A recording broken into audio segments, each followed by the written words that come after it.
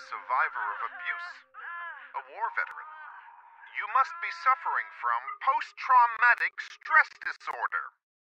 We have the solution to your problem Phenoxyl.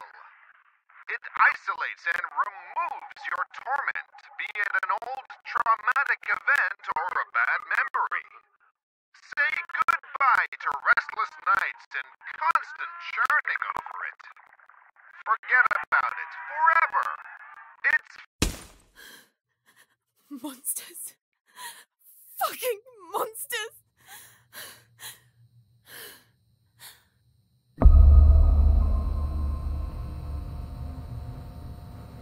You can't erase memories forever. It would be like erasing time itself. Memories and time go hand in hand. The consequences would be even more devastating than Alzheimer's disease. There would be no separation between pre and post trauma. The memories would wander autonomously in search for answers, for a common ground. Fractured by spells of amnesia, hallucinations, and emotional swings, two opposing perceptions would coexist, overlapping and threatening one another, to the detriment of the one truth, now shattered the so called porcelain memory.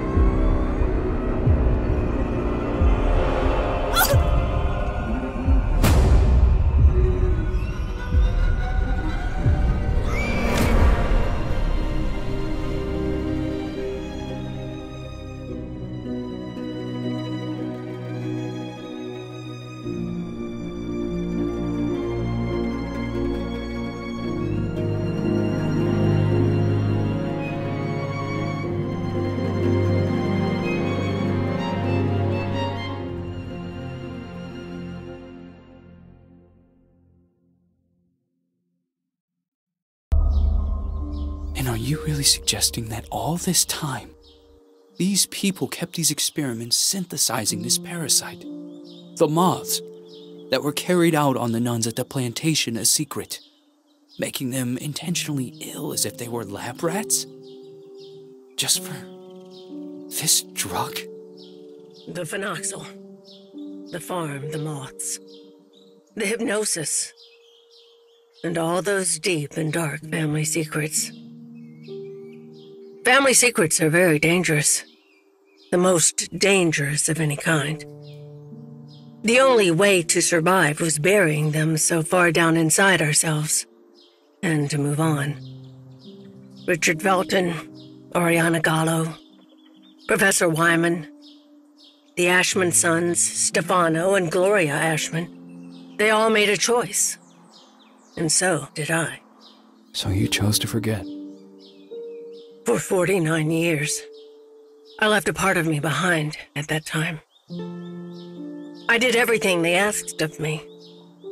Forget. But one day, that missing puzzle piece resurfaced. Like dirt stuck beneath your fingernails. It is there and always has been. Sometimes it is a song, a lullaby, or a certain item. But for me, that missing puzzle piece was a special person. A lonely one. Just like me.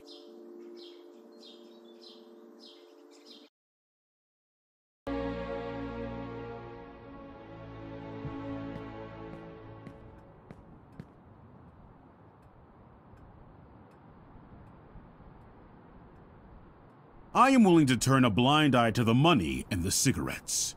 Don't be fooled into thinking that I don't know about them.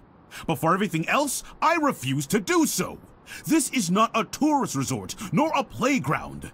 Breaking an entry? Larceny! What plans did you have for that gun? For God's sake, Jennifer, tell me! I don't know anymore. It seems you are a magnet for trouble. From what I'm reading, you caused a lot of hassle, especially at the Flemmington Girls Institute. Other girls similar to you ended up straight in juvie. Did you know that? All I can do is apologize. I can assure you, I never intended. Young lady, what are you running away from? You are safe here. You can talk to me about it. I'm serious! Very well. We will have to talk about this again. Considering what has happened, I have made arrangements to give you new chores. You will help Eliza in the kitchen. But, sir! You will do your best. I've always done my best here! I seriously doubt that. When you become of age, you will do as you wish and as you see fit. But until then, you are under my care and you will do as I say. Run along now.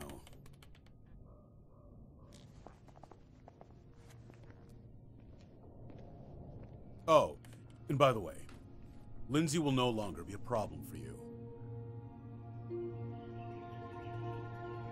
What do you mean? She insisted that I send you elsewhere. Instead, I have organized to have her transferred to another facility. They will be coming to collect her next week. You may leave.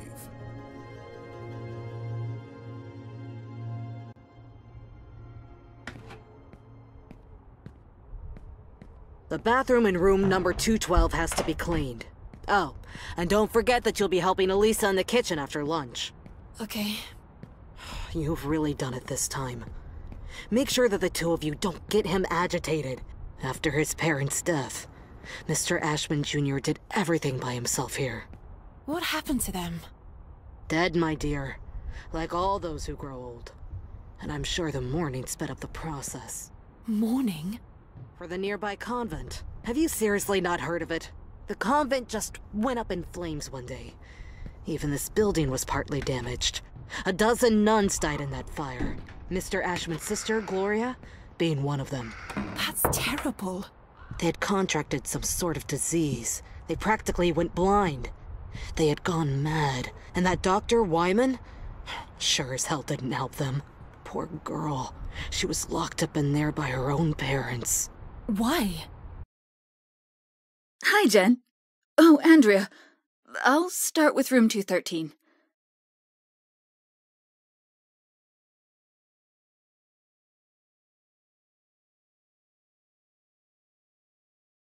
Did Mr. Ashmann have something to do with it? Shh! Lower your voice! You'll get us thrown out of here. It seems that Mr. Ashmann had the bad habit of touching his little sister. Oh, God. Obviously, the parents didn't like this at all. So they sent him to a family relative in the north and his sister Gloria to the convent. If it were me, I would have done the opposite. For him, the arrangement only lasted a few months. For her, instead, well, that's another story entirely. He had always been mommy and daddy's sweetheart.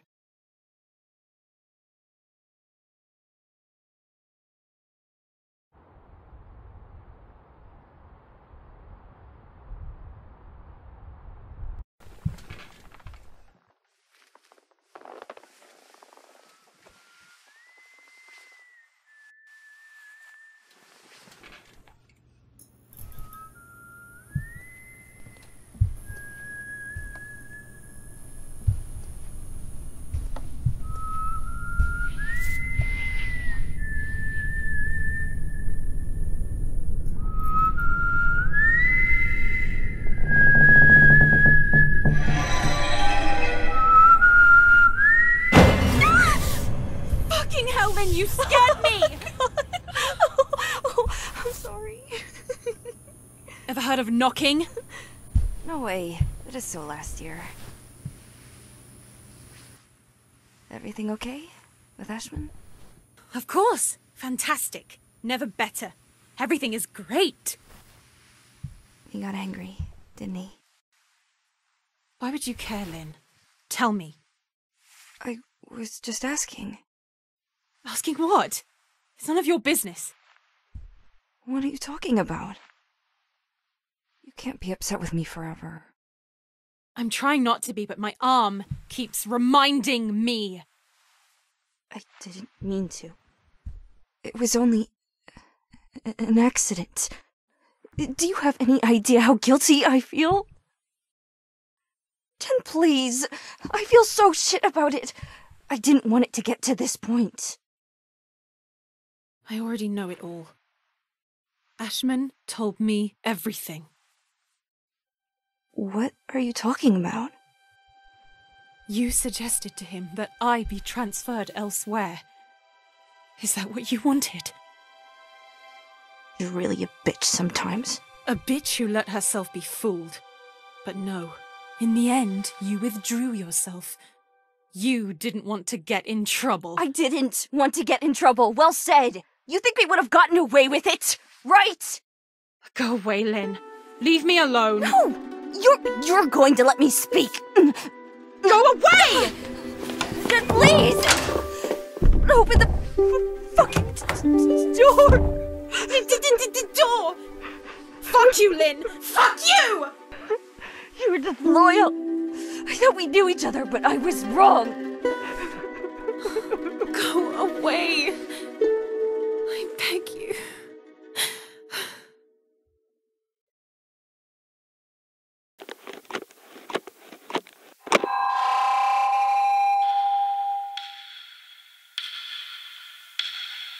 My god, I have to leave this place at once.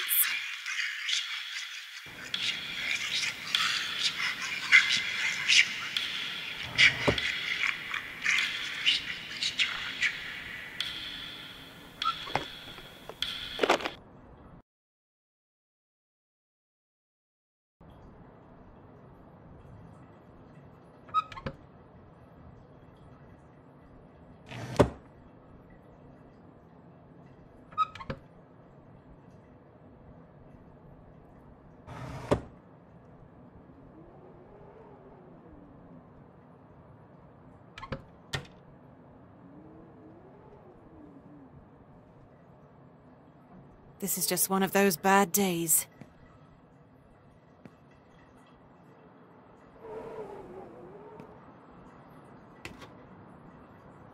Linn? The hotel will reopen in late spring. Until then, I will only see the same ugly old faces.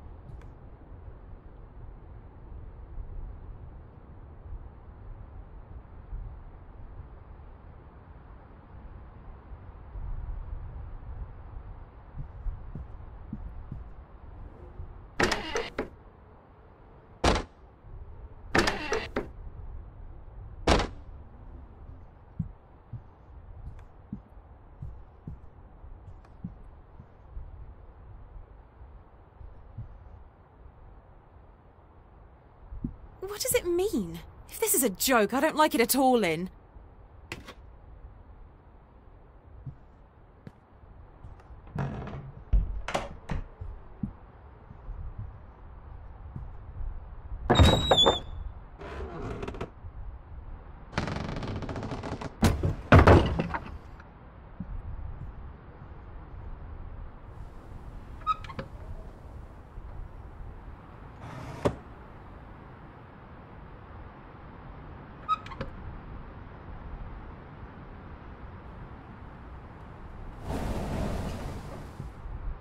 Room 213. Eliza said she would have taken care of it. I don't understand why it's locked.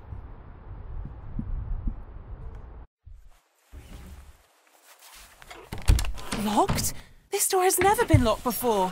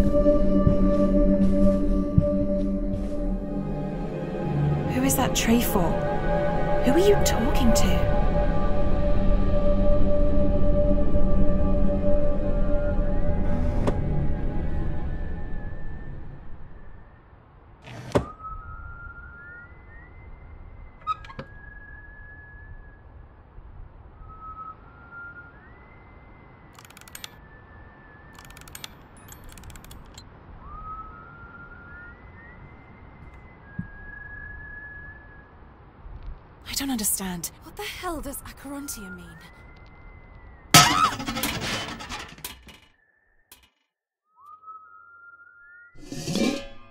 What the fuck? What the hell did they do to you? You know they used to call him Wyman once upon a time! You're hurting me! It's part of all of us. And we are all part of the same thing.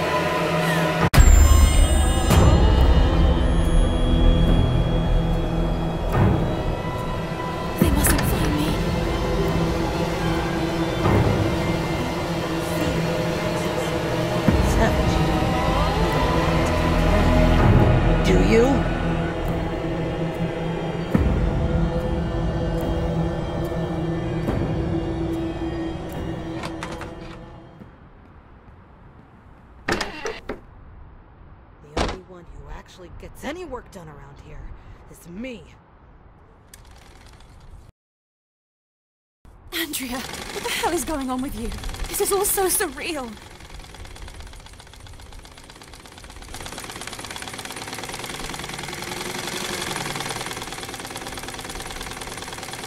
I'm so tired of all this. I just want to break from it all.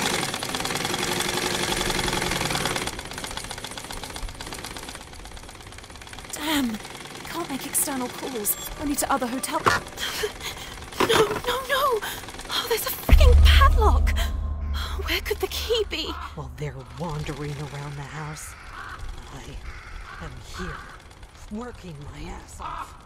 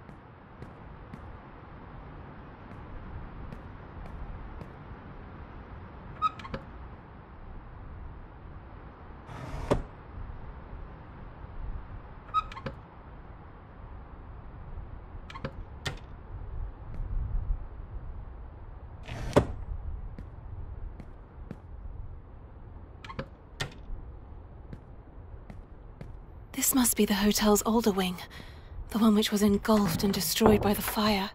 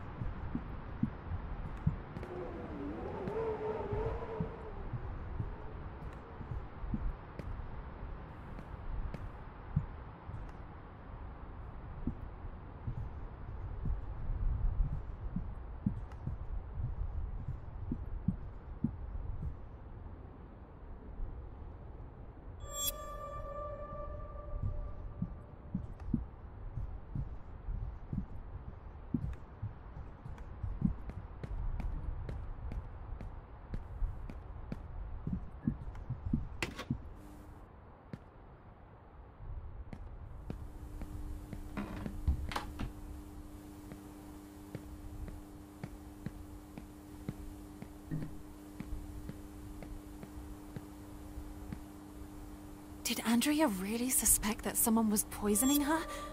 But... but who?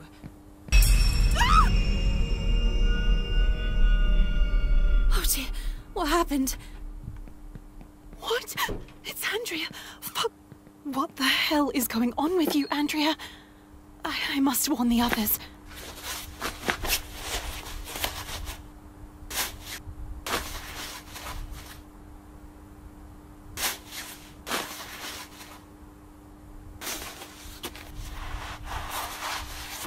I have become an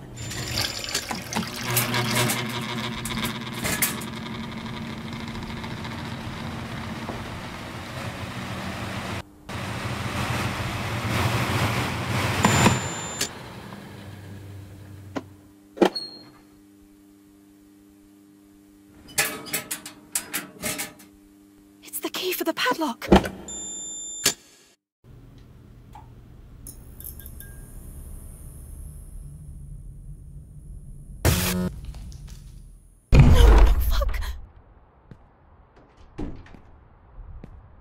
Crap. She locked the door. I'm trapped.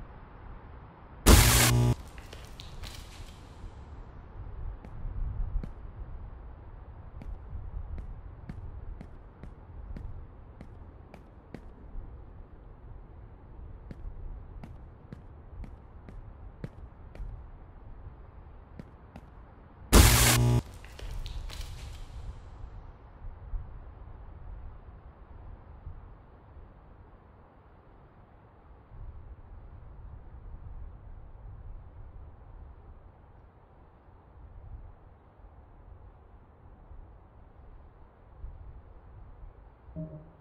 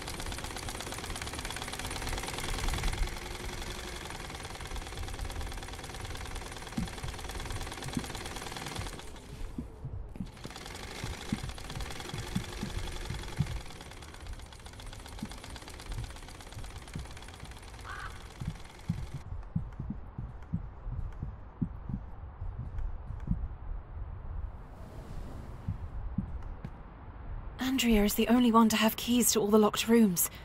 I have to find a way to get her to open this door.